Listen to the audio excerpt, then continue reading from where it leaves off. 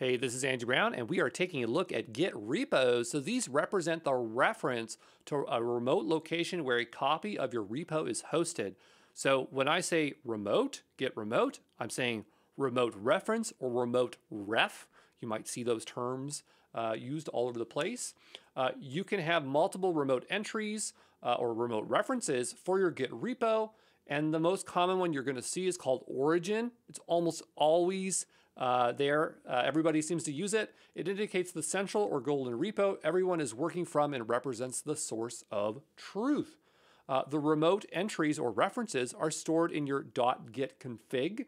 We don't really talk about this .git folder in any of the slides, but the .git folder is how you know that your project is a uh, has a, a Git repo in it because it needs that folder uh, to initialize a Git repo. We'll look at that in the quick and dirty crash course. Um, so in here, in the config file, you can see we have remote defined. So this format of a file is called a TOML file. Um, so anytime you see those square braces and then definitions, that's usually a TOML file.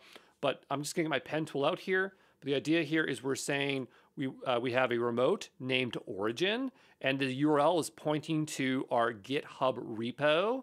This part says how it should fetch. Um, I'm not going to get into that right now. And then down below, we can see we have some branches that we are tracking, and they're pointing to remote origin. And then they, uh, they're saying that we want to uh, merge um, uh, there. So hopefully that is clear. Notice remote names can be referenced. So we have origin up here, and it's referencing this up here. Okay, so I'm just going to clear my annotations here so this is a little bit more clear.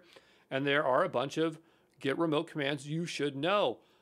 I don't remember the most, like the git remote add, I don't ever remember that one because often when you clone, it's going to add them anyway. And so usually you pull them from GitHub, but you should know push, you should know pull, you should know fetch.